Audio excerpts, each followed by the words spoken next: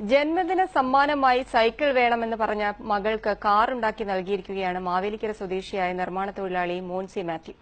മാലിന്യത്തിൽ നിന്ന് ചുരുങ്ങിയ ചെലവിൽ വൈദ്യുതിയും അടക്ക പറിക്കാനുള്ള യന്ത്രവും ഒക്കെ നിർമ്മിച്ചിട്ടുണ്ട്. ഒൻപതാം ക്ലാസ് വിദ്യാഭ്യാസം മാത്രമുള്ള മോൻസി. മൂന്നാം ക്ലാസ്സുകാരി ടെൽവ ആകെ സന്തോഷത്തിലാണ്.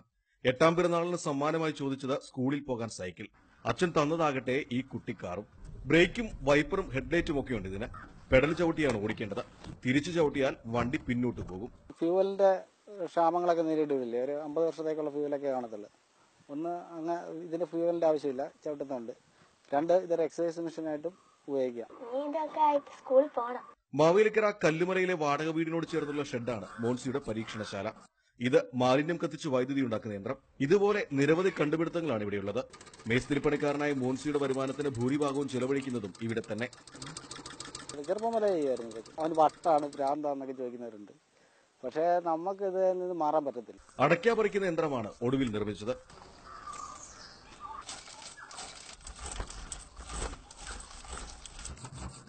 ഇതൊന്നും സൂക്ഷിച്ചു വെക്കാൻ സ്ഥലമില്ലെന്ന സങ്കടം മാത്രമാണ് മോൻസിക്ക്. ഏഷ്യാനെറ്റ് ന്യൂസ് തിരുവല്ല.